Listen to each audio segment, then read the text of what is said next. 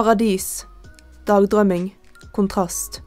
Valgte en situasjon mange har vært i, og paradiset man får av å drømme seg bort.